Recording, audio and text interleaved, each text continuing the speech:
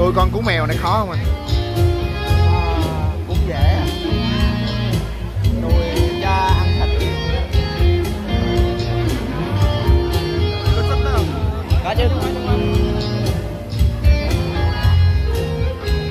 Ban nhạc một hai sáu. Một ban nhạc hết sức là đẹp trai toàn là mấy anh đẹp trai mà dễ thương không quý vị mà ngày hôm nay chương trình của mình là có sung có thành công hay không là một phần lớn ơi là lớn luôn là nhờ ban nhạc quý vị giờ một chào bắt tay cho ban nhạc của chúng tôi được không ạ? Yeah sung lên các bạn ơi. Yeah bây giờ trên này mà hát mà ở dưới mà vỗ tay rần rần mà la mà gào thét rồi nọ rồi trên này sung dữ lắm nha. Quý vị các bạn cứ sung lên là trên này còn sung gấp 10 lần nữa. Chịu minh ơi. Chào tất cả các bạn. Ồ, góc này quay chúng tôi ngu vô đây cô gái của chúng ta đã xuất hiện rồi các bạn ơi chào mừng chào bắt tay cho nữ ca sĩ Triệu Minh cảm ơn chị em. Lời nói đầu tiên chị Minh xin gửi lời chào đến uh, quý vị và các bạn lời chúc sức khỏe lời chào thân thêm nhé. Hôm nay ờ, chị Minh rất là vui ờ, khi được tham gia chương trình của chị Phạm Thanh Thảo ạ. Và bây giờ một ca khúc đầu tiên thì chị Minh xin gửi đến là một ca khúc vào tháng này thì à, vào mùa đông rồi đúng không mà thì chị Minh sẽ gửi đến một ca khúc cùng Sĩ Anh bằng bài hát với tên Người tình mùa đông xin quý vị cùng thưởng thức.